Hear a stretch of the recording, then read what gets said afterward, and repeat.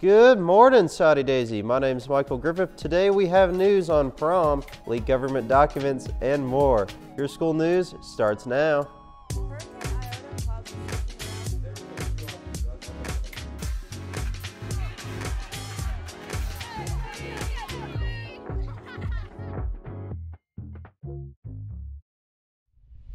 Seniors who haven't seen Miss Joyner yet to pick out their prestige photo for the 2022 to 2023 yearbook need to go to room 402 during third block before February 13th.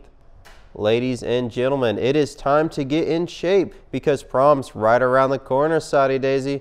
This year's prom will take place Saturday, March 25th in the new gym. Tickets go on sale February 10th, and the final day to purchase your ticket will be March the 20th. Tickets will be $45 and you must be in good academic standing to attend. This means no extreme behavior issues, no tardy issues, and you must be passing all of your classes. It's time to purchase your senior ads. Parents and or guardians may purchase a quarter, half, or full page message to go in this year's yearbook. These ads can be purchased at walsworthyearbook.com, but keep in mind if you'd like, you're able to practice your own web design skills. If you are interested, pick up a form in the main office to learn more.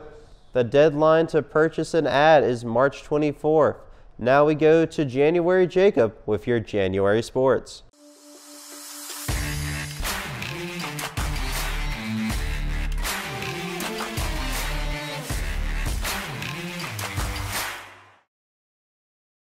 Thank you, Michael. The Lady Trojans traveled to East Hamilton on Tuesday, hoping to keep their hold on first place in the district. The Trojans continue to dominate, shooting 60% from the floor and 50% from behind the arch.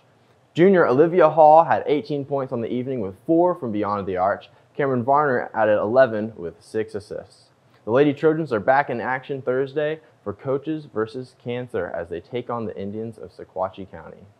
The Trojan wrestlers fought hard on Tuesday for region duels against Signal Mountain, but came up short in the final match. Signal Mountain took the early lead, getting six pins in seven matches, but the Trojans kept battling, getting a tech fall and three straight pins, bringing the score to 34 to 33. It all came down to the final match, and the Eagles got the pin with a few seconds left in the third period. Final score 40 to 33. The Trojans are on the road Friday in Pigeon Forge. And that's all for sports. Now on to the break.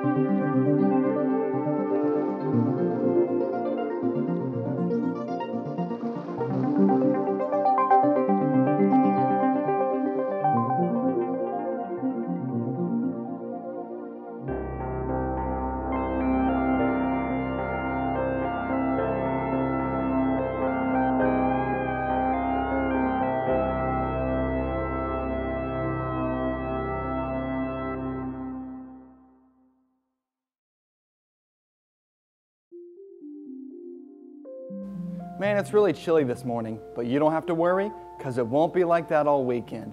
The highs for today are in the low 50s and the lows in the low 30s.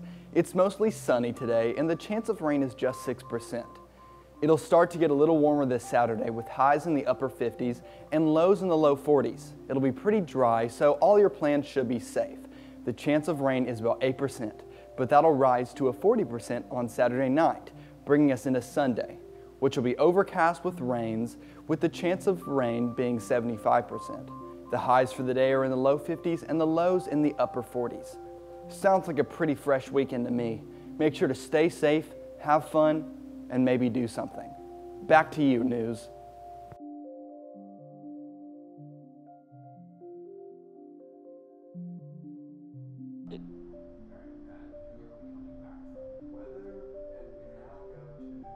That's to me, I believe, yeah. Thank you, Clayton. Another restaurant is closing in Hixson. CiCi's Pizza is closing after 26 years in business.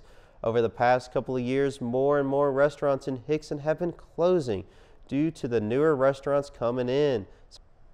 More than 80% of Americans approve of a special counsel to investigate classified documents found at President Biden's Delaware home and former private office as vice president, according to a CNN poll conducted by the SSRS. Findings based on more than 1,000 people showed the sentiment was similar among party lines. The same can be said in Washington, D.C. John Lornick reports.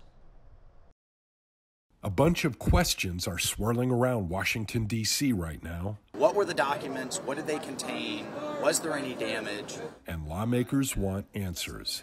The Senate Intelligence Committee says they have not been given access to the classified information discovered in the possession of President Joe Biden and former President Donald Trump. This position that we are left in limbo until somehow a special counsel designates that it's okay for us to get briefed is not going to stand. Other lawmakers say they'll take action against the White House. I'm prepared to refuse consent or to fast track any nominee for any department or agency and to take every step I can on every committee on which I serve to impose consequences on the administration until they provide these documents Meanwhile, the roughly 12 items of classified material discovered at former Vice President Mike Pence's home are described as background briefing memos, numerous sources tell CNN. A U.S. official says the FBI is working alongside U.S. intelligence agencies to assess the documents. Meanwhile, lawmakers from both parties are upset with the overall situation. I'm frustrated that uh, if anyone doesn't handle confidential and secret uh, documents uh, in the manner in which they're supposed to. I'm John Lawrence reporting. The National Archives is considering sending letters to former U.S. presidents and vice presidents, including Bill Clinton, George W. Bush, and Barack Obama, to make sure they don't have any classified documents, according to a source familiar with the matter. Though government officials aren't the only ones getting their hands on documents, even gamers are getting in on the fun. And enthusiasts of anything military vehicle related, War Thunder fans are quite well known and respected in the field of authenticity of their game assets. So whenever a mistake is made by the developers, the fans are quick to prove them wrong with leaked government documents. This has happened once again with the release of the F-16 Fighting Falcon not being accurate enough to its real-world counterparts, causing fans to leak classified military documents on the F-16 to prove a point. This is not the first time War Thunder fans have done this. It has been done a total of three separate times. When will the leaking end and the safety of military documents begin? We truly will never know. However, we now know that Gaijin Entertainment will be announcing a rework of the F-16 at the cost of leaked government documents. Now to Wyeth with entertainment. Thank you, Michael. This is Wyeth with your Entertainment Minute. We be getting these visions wherever we see. do fussy, fussy, fussy. You do Martha Graham, Martha Graham, Martha Graham.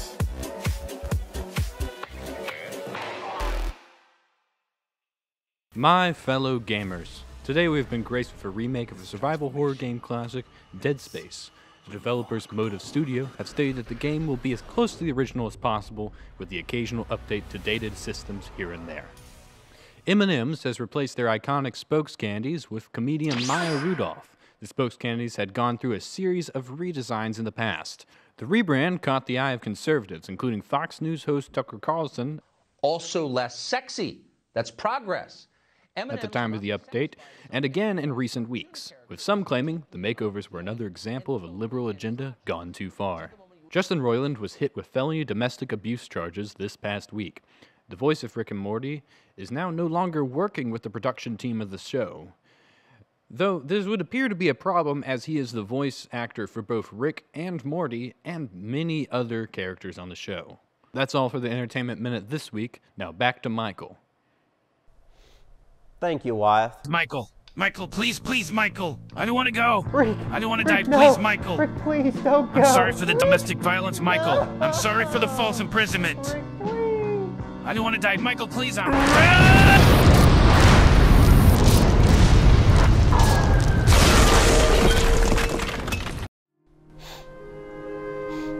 Sorry, sorry.